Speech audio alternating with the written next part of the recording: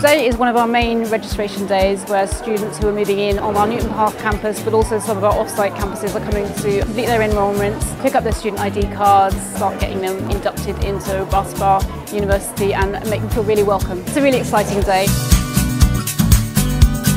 Students can come onto campus to get their room key if they live on campus, to register for a doctor's, to get their bus pass and to just generally find out more about the campus life. I think something that's really good about registration weekend is that a lot of student ambassadors are here which means they can be quite personal with the students because they're on the same level as them and also the staff are really friendly and just make everybody feel really welcome. Today I'm just helping the freshers move in, trying to create the positive vibes and bring everyone together in a positive environment, just letting them know that this is the best campus in the world.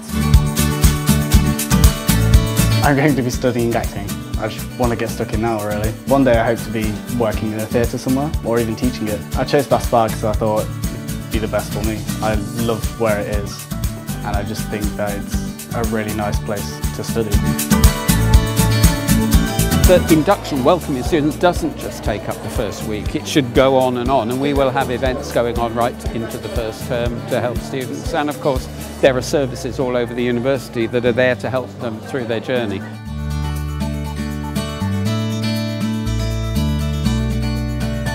How would I sum up Bath Spa in one word? Welcoming. Caring. Good vibes.